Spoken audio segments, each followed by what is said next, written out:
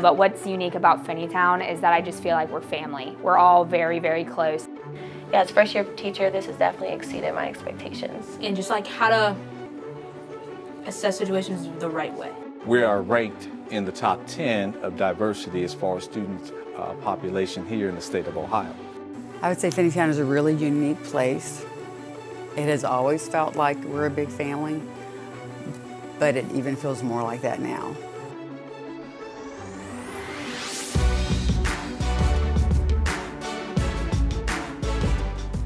We decided to do this because in society, there's nothing healthy about escalation.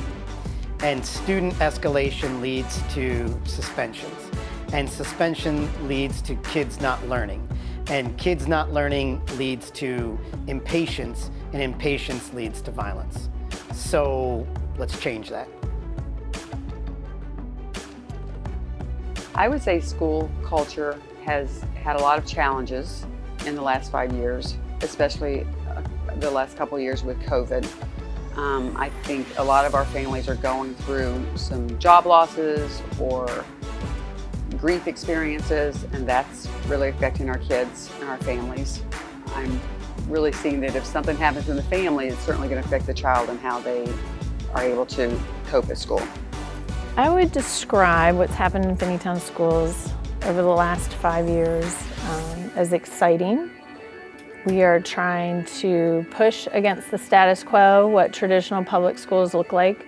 So we've really focused on bringing restorative practices, responsive classroom, project-based learning to our students. I actually went kicking and screaming. I did not want to go to another training and and in hindsight I look back and it was it's changed my life forever. I would characterize what we've been doing here uh, the last five years in the district as intentional, um, meaningful, and slow. I think it's about making our community better, solving the problems and the issues that we have between students and teachers and everyone, and just making it a better place. several people brought their heads together, and I wasn't in the initial group of that, and said, we really want to shift our culture here. They saw it going wayward and said, we've got to start caring for one another more. So they came up with the house system, and then we got the buy-in of the entire staff. I think with the house system that we've implemented, the house system gives us a chance to uh, have students interact with one another who not necessarily would interact, you know, from different grade levels. So with the house system itself, it gives also students a chance to talk with teachers they normally would not probably have. I have students that I don't even have in class that I know in the hallway that I greet by name. I know what's going on in their lives. This is something like very positive that our school is doing. And I think it impacts the culture of our school as well. It's bringing uh, these friend groups that we have here at Finneytown to like become more together and uh, it's really expressing our diversity here. The point of the house was to build relationships so it goes hand in hand with restorative practices. And so house started and then that team went and heard about restorative practices and then we started implementing it. And it just is, it's, it goes, it's seamless. It it's perfect together. And then the pep rallies and stuff for the house system. Then we got these house games at the end of the year. And I feel like it brought everybody closer. So bringing that to Finneytown definitely changed it. I know that the district sent a team of five administrators to the original restorative practices training. And something must have happened so powerful in that training that they said, we're dedicated to this. Um, we were able to gather as an entire district at the beginning of um, the school year um, about three years ago, and we got to learn about that together, which was very powerful.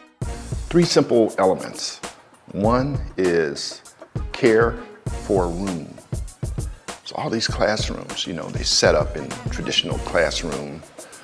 Well, we change that around. We take the desks And if there are chairs and tables, we'll move the tables out of the way and we'll circle the chairs up. Um, and then the second thing, after we rearrange the architecture of the room, we, um, we focus on the present.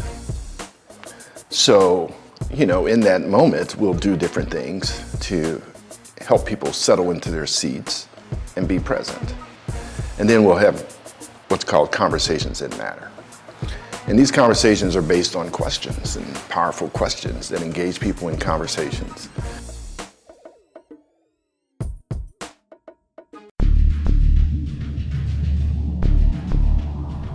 Oh my goodness.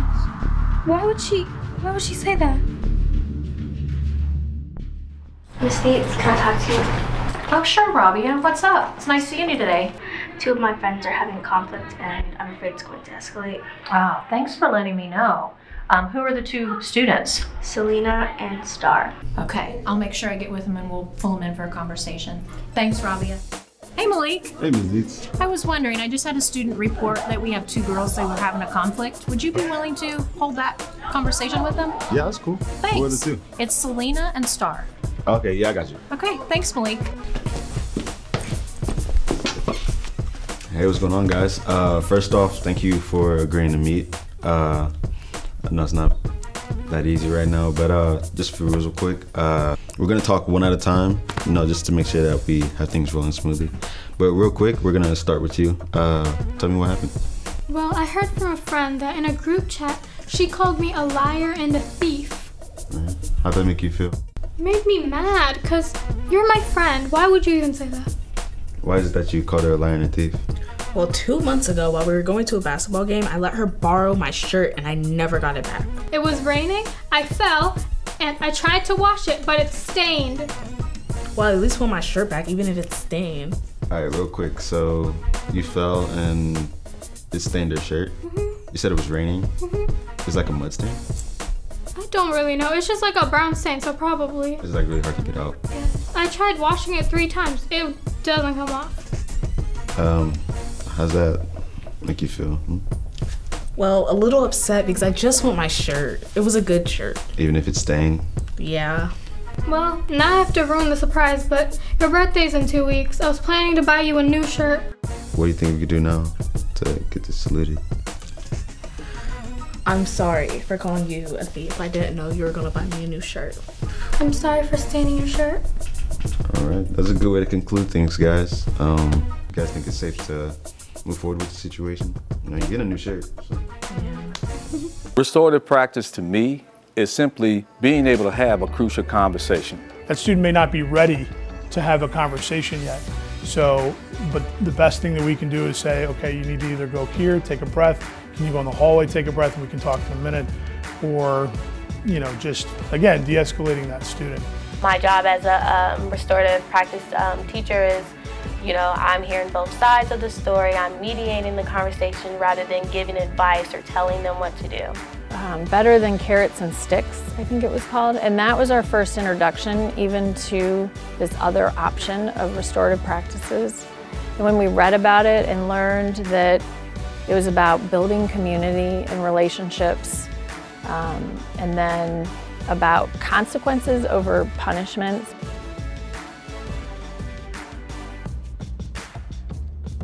We understand the techniques that are being used to help our kids actually learn different behaviors instead of just punishing kids, sending kids home from school, um, getting kids involved with the court system. Seeing the priority of communication and community relationship based education has made a big impact.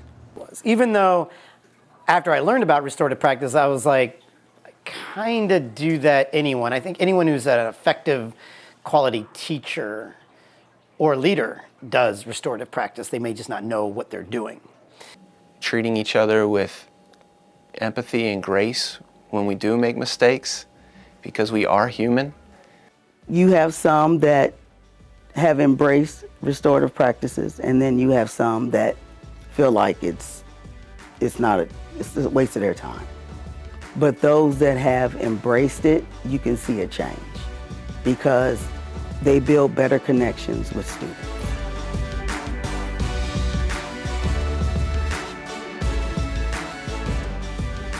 And in the time I've been here, we've had different resource officers.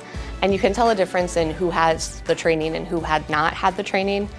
My, my instinct is obviously to de escalate the situation and get the students separated and um, away from each other so that each one can de escalate before we bring them back together to have the restorative conversation because we don't want them to actually still be upset and trying to have a conversation when neither of them are ready to have.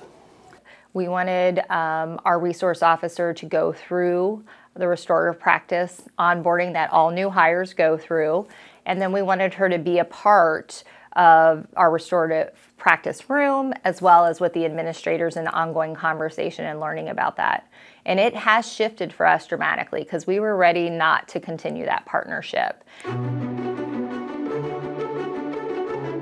Having the restorative practices, it gives them a chance to practice what they need in real life when they become adults. Uh, the peer mediation process is new this year, and it actually started mid-year with a um, with an off-campus training for peer mediators, and then the folks, uh, the teachers who are currently leading in the restorative practices room, the RP room that we have here on campus, those are the ones who are also supervising and mentoring the peer mediator. I'm beginning to understand my teachers because of, of our training. It just taught us a lot. I think peer mediation's awesome because their peers can see them mediating and doing restorative practice, which can help other students not feel like it's just adults doing it. We recently had a case where a student was referred but took advantage of the diversionary court process and through that process really learned a lot more about his behavior and how it affected other people and that student actually ended up deciding to become a peer facilitator.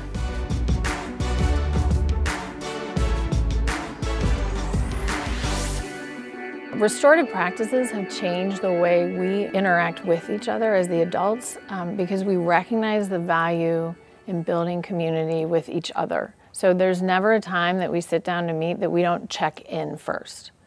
I feel that there's just a very strong camaraderie amongst all of us, and I feel that we each trust each other.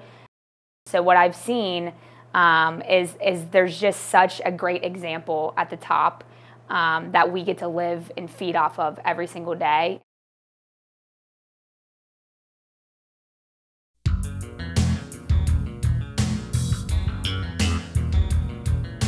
Big part of restorative practices is the circle, uh, the power of the circle.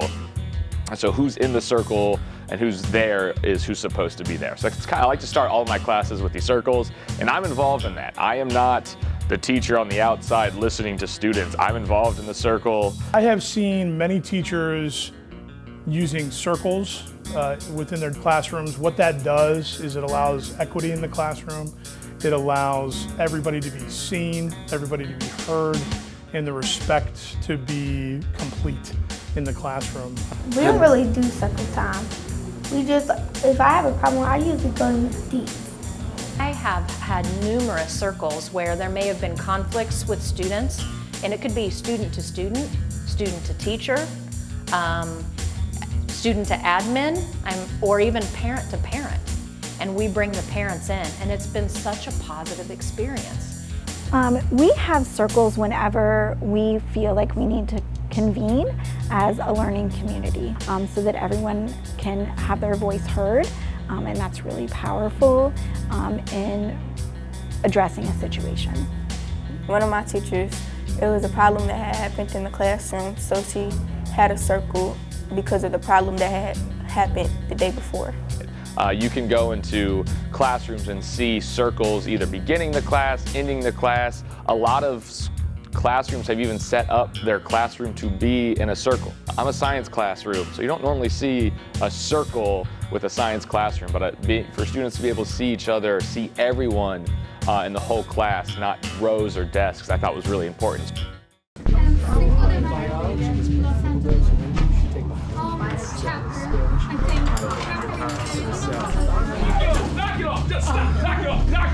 Knock it off! Hallway, get in the hallway. Go sit down. Go sit down over there. Okay. Well, after hearing everything, uh, you're going to be suspended. And I'm going to call your father and let him know what happened, that you'll be suspended for a period of time. And then part of the suspension agreement is that when you return, you and Nolan will have a restorative conversation with me. And then, assuming that goes well, if you're both willing, we'll then go to the classroom where the two of you fought and we'll have a restorative circle with that class and the teacher. Okay? Okay. I'm gonna call your dad, let him know, and um, I need you to sign this while I'm calling.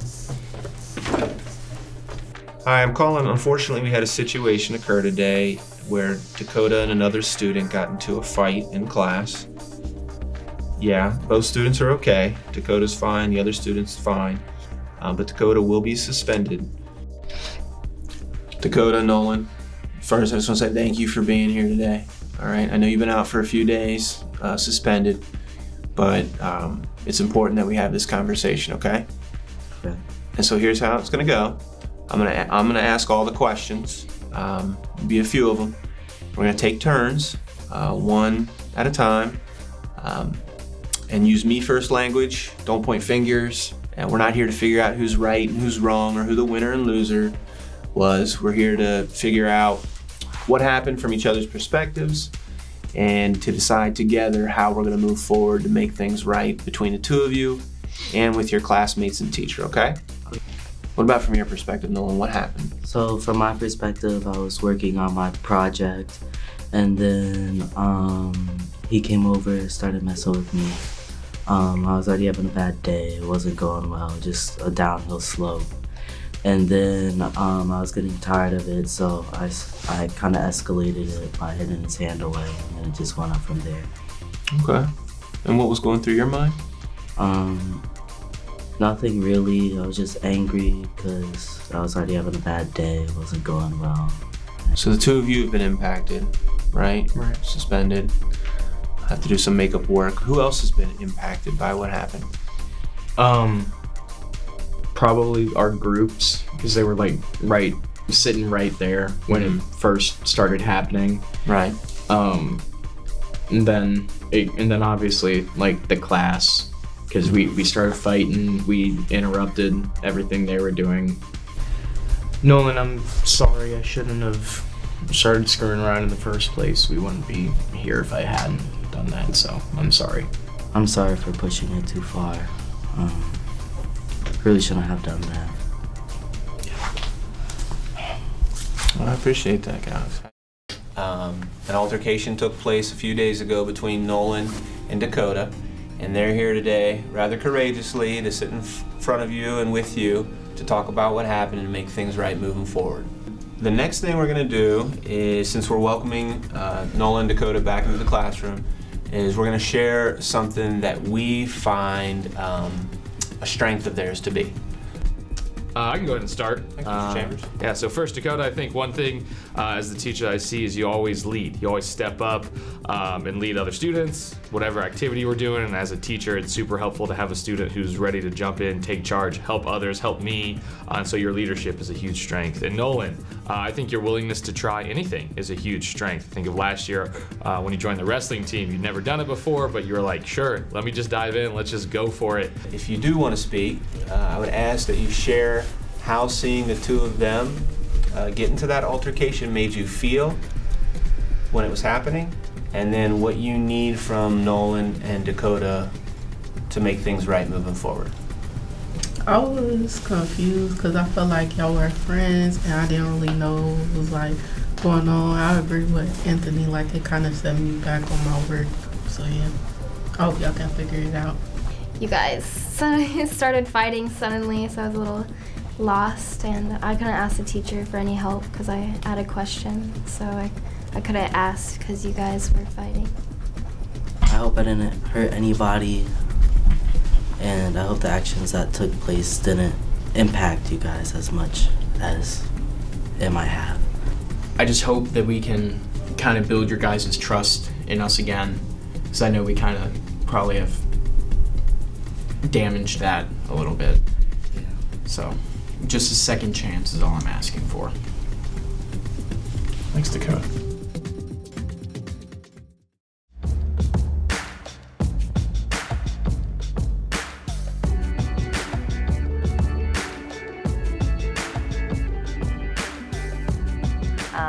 Mom's perspective, I appreciate so much the fact that it's really trying to prepare our kids for future conflicts, for future, um, you know, opportunities to build community or deal with conflict. And so I, I feel good about it. I feel like we're really building the skills not only for our students, but in some ways also helping our parents see a different way to have meaningful conversations with their children. And so I think that's been very powerful. Change happens from the heart. And so people have to truly believe in um, that which uh, they're doing from a day-to-day basis. We're embracing vulnerability, we're denouncing shaming, and we're trying to create a deep, honest, soulful belief that a student can achieve. So we have the data, we have the reports, we have the first-hand accounts of students coming and being like, man, like these restorative practices work. We are able, I'm able to see how my actions not only affect me, but others. Restorative practices for me changes the experience and it makes the experience more human, uh, no matter the situation. And I think in the end, uh, restorative practices confronts people with their freedom. When I talk to the community, I would tell them their financial investment in Finneytown Local Schools goes directly into our students through this training, through these resources that we're offering for our staff and our students together.